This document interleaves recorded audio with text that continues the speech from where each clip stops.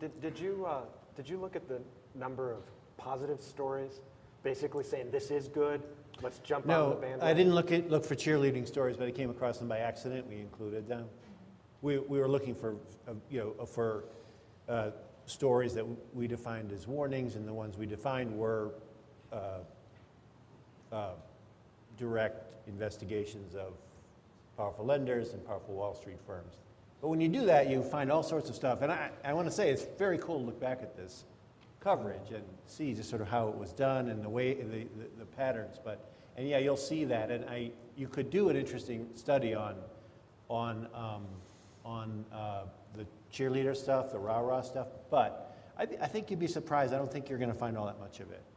But, I but I think that's good news for the press. I mean, yeah, that's the no, other that's right. to, to what you're credit, saying. Credit where it's due. I, I just don't think, yeah, there were a few in there. Uh, mor- mortgage slump, bring it on, countrywide plans to expand so and so. Um, so, you know, et cetera, et cetera. Um, but that, I, I wouldn't, if, if, if we're looking for, for problems, I, I don't think that's the one. Sorry? Someone's right there. From the left, I'm not sure that's a political statement or not.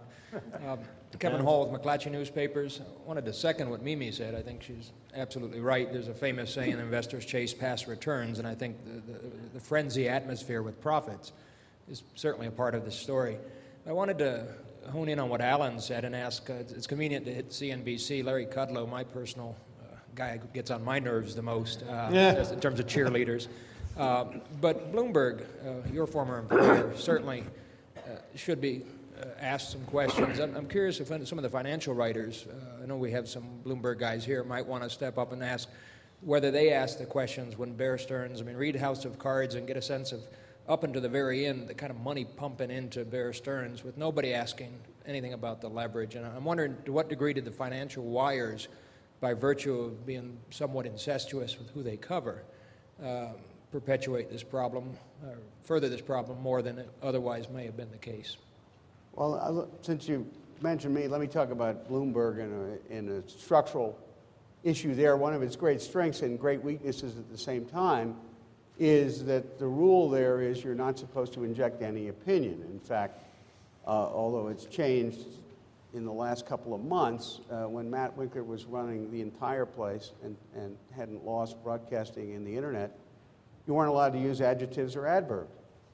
Uh, that's not such a bad rule, but it meant everything was very dry, very straight ahead, and uh, there wasn't a lot of analysis. So even when Bloomberg turned up a lot of good facts on Bear Stearns, for instance, the, the flavor, the interpretation that a good story by the New York Times or the Wall Street Journal or the LA Times or Jane or anybody else might include would be missing. So um, I don't know how to go further than that. I'm, I'm not sure that Bear Stearns, everything got swept up all at once. And there were so many different complex balls in the air, it was hard to keep track of, is what I would say. There, there isn't a, a uh, sort of broad-based Bloomberg uh, defender here, but I would say that while I did not, um, because we didn't have access to the wire, um, uh, so I did not uh, see their wire uh, reg- regularly, but their magazine, they did investigative pieces that were really very strong, going back um, three or f- at least three or four years. So um, uh, I would agree with that. the, ma- the magazine did, did stuff.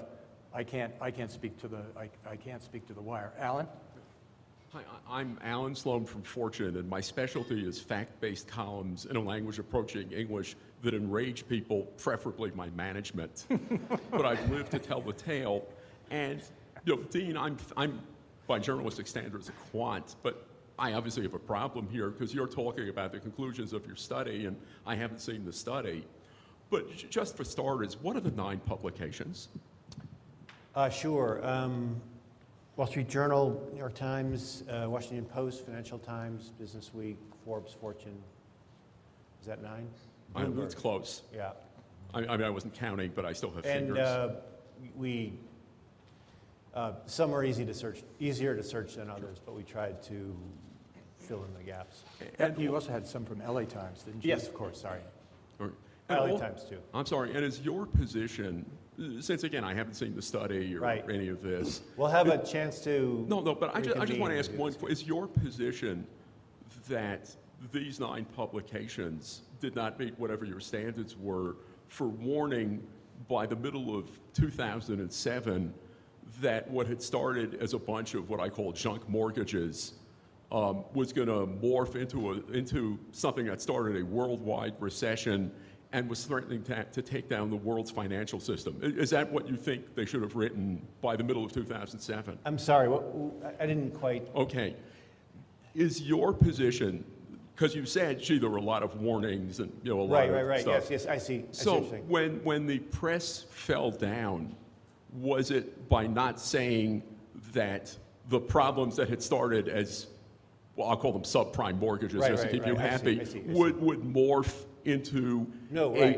a Right, right, right. worldwide economic slowdown and, and challenging the world's financial system? That, that's a great question and very important, and it's interesting. I find myself in it, uh, other side of the table with great journalists like Larry and, and Alan. Um, no, um, and it's a very important point I think to think about because I think there's a, a great uh, a, a misperception that um, there's an expectation by me or someone else that um, that uh, financial journalists are in the prediction or soothsaying business, and I, I find that that's that's not the expectation. I don't think it should be. Um, and I address this in my, in my piece.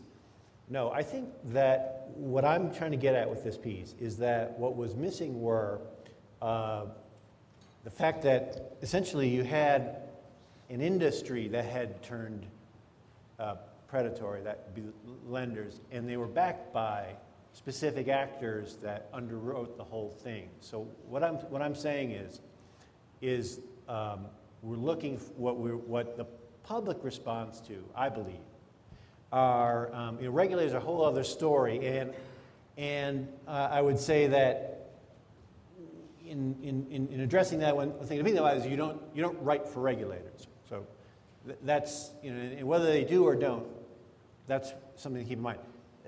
What I'm, what I'm saying is that um, we're, we're, we're, we were looking at an, of, a period of, of what, I, what I believe was institutionalized corruption in the mortgage lending business and made possible by Wall Street actors. And what, what I'm saying is, is investigations that contain that kind of headline risk for those out- outfits, Countrywide, IndyMac, uh, New Century, Ameriquest, uh, Lehman Bear Merrill. Um, those were, that was sort of the watchdog that, that did embark. And you mentioned that great piece by Diana and Lowell Bergman. That piece was revisited in June of 2007 by the journal. Dead Bomb Lehman does so is back. He's, a, deep, he's basically neck deep, is was that. But we're talking about a period when those those were the things you want you you'd, you'd want to see, uh, particularly 04 through through through 06. That's the thesis. All right, since, since, you know, this is not a debate, and I don't want to hog the Sure, no, it's microphone. fine. uh, We'll, we'll- Yeah, we'll finish, I'm we'll finish this later, but obviously not now. Take care. You're going to go outside?